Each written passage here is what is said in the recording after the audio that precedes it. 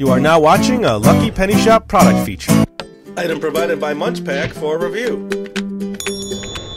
Hey, it's Lucky Penny Shop. I am going to check out the MunchPak. Not sure why I'm talking like that, but that's just the way it came out. This came the other day, about two days ago, so I thought this would be a good time to do it. So here we go. I'm going straight in. No hesitation, no waiting. Let's check it out.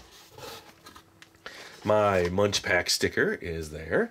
And here is my Hola Adventurous Eater. This MunchPak, well, hashtag MunchPak, was made with lots of love by Nick. Enjoy. All right.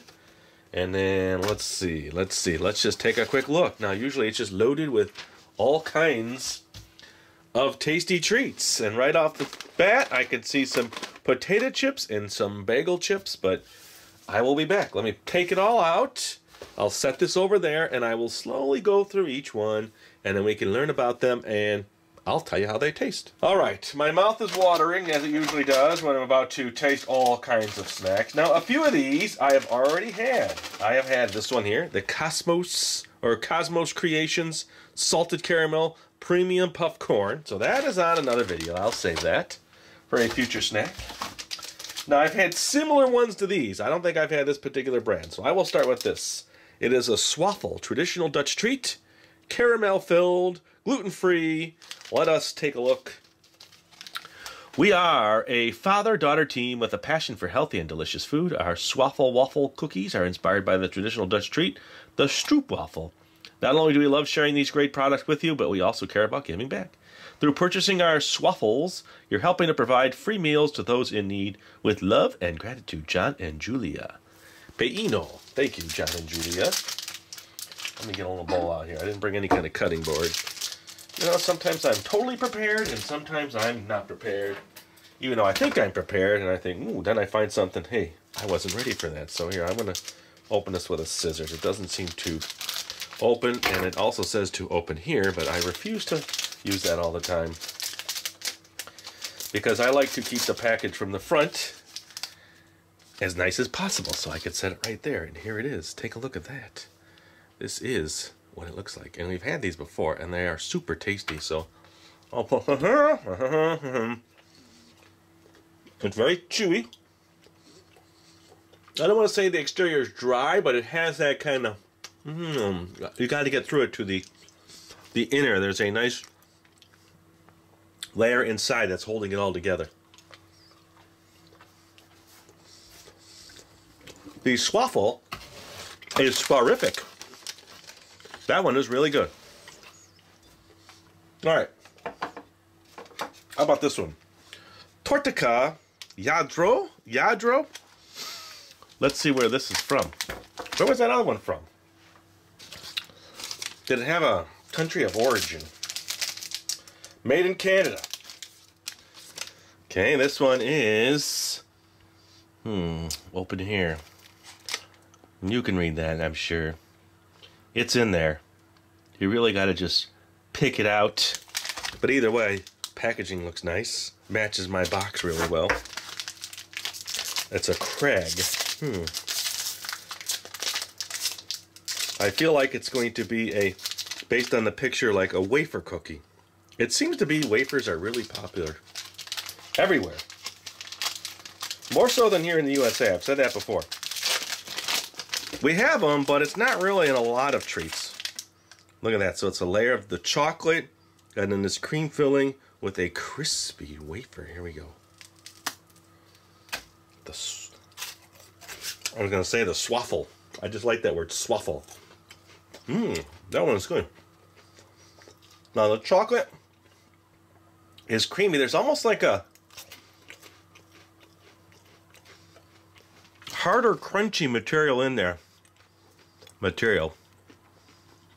Food substance. Almost like little nuts. Very nice. Let's add that to our collection. Let's clean this up. Now, see what I'm saying? Here's another one that's got a wafer. Seems to be really popular. Let's add a candy snack in here. This one looks really cool. Looks like a lizard. An Efrutti, so oh, it's a gecko. A sour gecko. Now that is cool. And let's see. Oh, here we are. Made in China. It's a sour gecko gummy candy. I've tried a bunch of their stuff. I've never seen the sour gecko. Looks neat. It's got lots of colors. Let's just see if we pull him what happens. Okay, so he'll stretch. Poor gecko. How far will he stretch? It's its tensile strength before I chew. Watch, I'm going to snap it, knock over my camera. He's still going. Oh, there we go. So let's eat his tail. The chewiness. Oh, I knocked my camera down. That was weird. So it's got a medium to hard chew. It takes a little bit to get through. The sour is not as much sour to me. I like the sweet, the sugar on the outside. It's got a little crunch. Very tasty. Not overly sour, though. All right, let's do these. This is the seven, oh, enjoy seven days a week bagel chips cinnamon raisin. They also have two other flavors, roasted garlic and everything. I'm not a big garlic bagel fan. Are you? I'm not. And there is some more information. And where does it say it's from? It is from Bulgaria. Mm. I used to have a Bulgarian grocery store nearby that I used to go to. Loved Bulgarian sausages. They were always so tasty and unique. I can't remember having the snacks. Here, let's get this bowl. They look good. Hmm, this might be a good breakfast snack with a little cream cheese bagel, cinnamon, and raisin. I wonder how they cut these so thin. There's got to be a special machine. Bagels are hard to cut in general, but mmm. It is really tasty and super crunchy, as you can tell. Okay. It's kind of like eating raisin toast. That's what I would compare it to, but not as cinnamony, cinnamony and not as raisiny. But you're getting a lot more crunch. There, put that one in there. Well, let's do this one since I showed you already. Vienna, Manor Vienna. Or is that a W? Hmm. Chocolate cream filled wafers, all natural. The taste of Vienna. Let's see what they say. Chocolate and wafers for everyone. This was Josef Manner's, so it's an M. Sorry, Josef. Big dream when he founded the Pink Confectionery Dynasty in 1890. Okay, so we've had some of their stuff before. It's from Vienna, Austria. Ever since, sweet delicacies are produced in the heart of Vienna according to the finest original recipes and started to conquer the world mm, with sweets. And look at that, it's got the little pull tab on it. Let's see what that pull tab's all about. There we go. And then this should open. Oh, wait, I did have these already. I think I've had these now that I see them. The packaging didn't remind me of that, but they were really good. Remember, they were super layered and they were in these nice blocks that you could you wonder it's almost like a block set how nicely packaged they were and I remember them being tasty so we have another overlap crispy chocolatey good clean that up all right not many more Co cocoa bis it looks like a cracker. Why do I feel like I've had this one too? This is a product of Japan. It's a wheat cracker. Looks like you could put something on it. I don't know, is that a little fruit of some sort? It looks like palm trees, so what are they trying to say?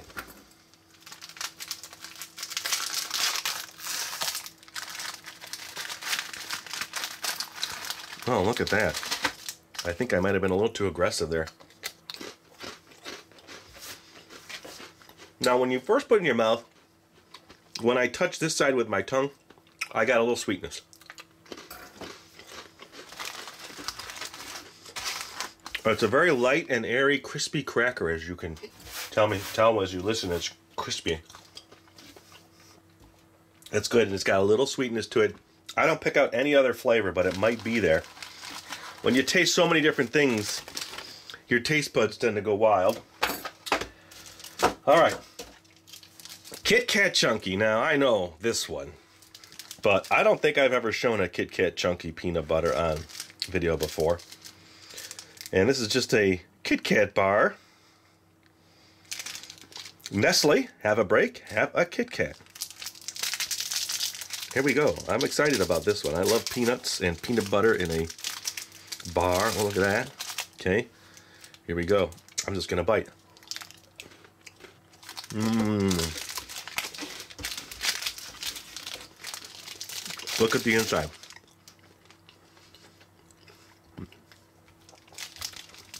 There's very little resistance when you bite that.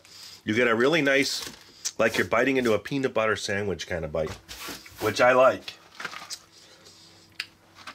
And it's very peanut buttery. Here's the uh, pizza flavored Pretz. Baked snack sticks. And there's the ingredients. It contains wheat milk, soybeans, and coconut, product of Thailand. Visit us at pretzsnacks.com. I'm guessing now there's a perf somewhere. Open.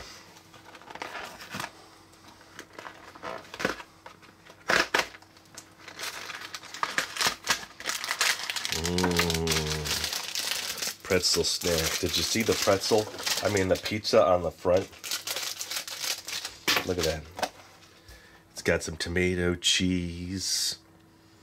Some looks like could be oregano on there. Mm, maybe basil. Probably both. That's what I would put both anyway. And here they are. They're crispy, so this would be good. Maybe in a little olive oil with cheese. Grated Parmesan. It's a very, very strong pizza flavor. They are not hiding on the flavor on that one. Yes, this would be good.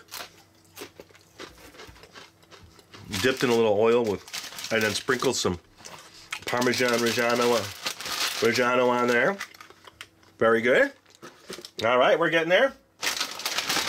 Look at this one. These Zapp's potato chips, New Orleans kettle style voodoo. Now I've seen these, I'm pretty sure at World Market. Our New Orleans kettle style potato chips are kettle cooked, one batch at a time. This process combined with premium ingredients results in a crunchier, tastier potato chips we hope you'll prefer. We thank you for buying our product blah, blah, blah, blah. Hmm, pretty good. Zapps.com. It is a product of Hanover, Pennsylvania. Anybody from Hanover, Pennsylvania who lives near this factory and has to smell the potato chips cooking all the time? Let me know. Now, is this going to be hot, being voodoo?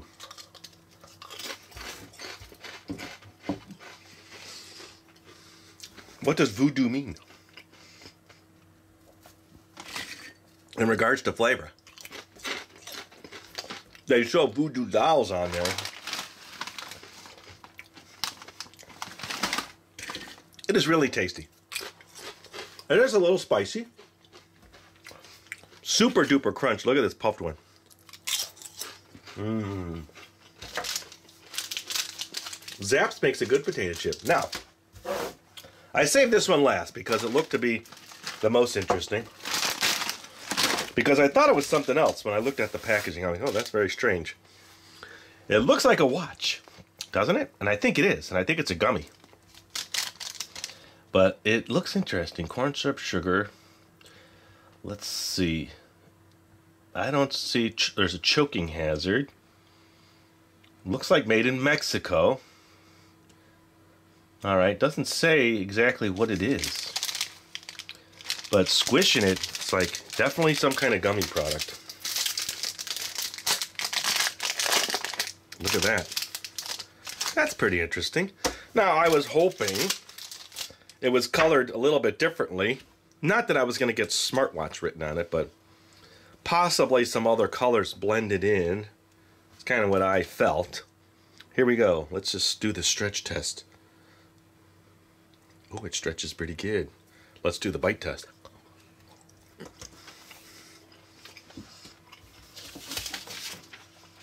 That's my assortment this time. from MunchPak. It's lemon. Or lemony or citrusy. That's what I get when I eat it. And it's a medium to medium soft chew.